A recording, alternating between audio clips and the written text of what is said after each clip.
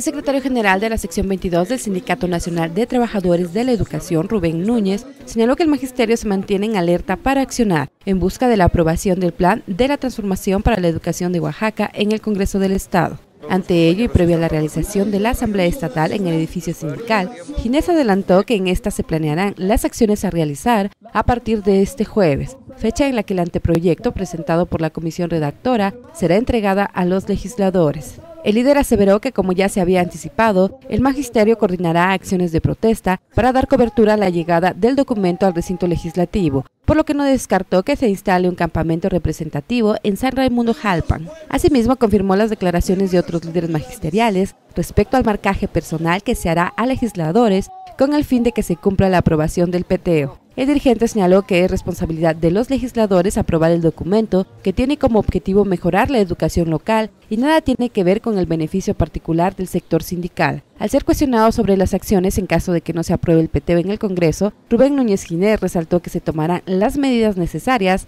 para llegar a los acuerdos que tomen en cuenta los puntos más significativos del anteproyecto, por lo que no descartó intensificar movilizaciones. con imágenes de Marco Galán e información de Cristian Jiménez, Síntesis Televisión.